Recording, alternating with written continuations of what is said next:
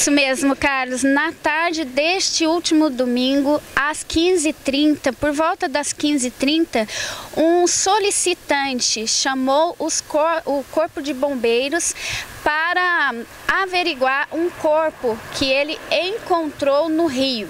Este cidadão estava em sua canoa, onde avistou esse corpo e amarrou às margens do rio Sapucaí e solicitou aí o corpo de bombeiro que já estava próximo ao local procurando o rapaz que, segundo testemunha, entrou no rio na semana passada. Desde então, os, o corpo de bombeiros faziam buscas a este rapaz.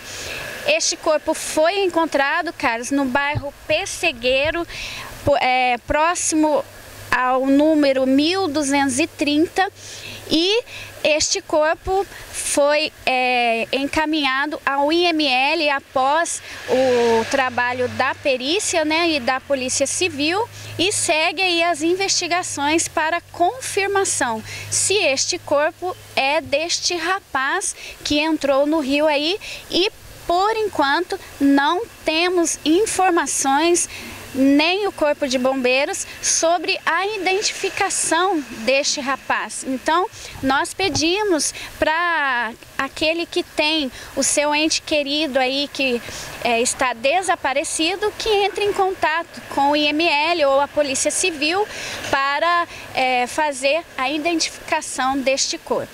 Beth Fernandes, para o Jornal de Itajubá. Oficina e Autopeças BJ tudo que o seu caminhão precisa em um só lugar: peças, acessórios, serviços de mecânica, elétrica, funilaria e pintura, posto, mola, mangueiras hidráulicas, alinhamento e balanceamento para caminhões a laser.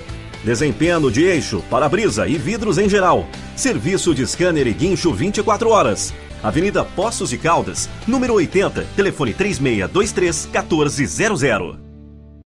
O restaurante Paladar tem aquela deliciosa comida caseira, preparada com muito carinho, além de uma grande variedade de carnes disponíveis todos os dias, com o atendimento que você merece.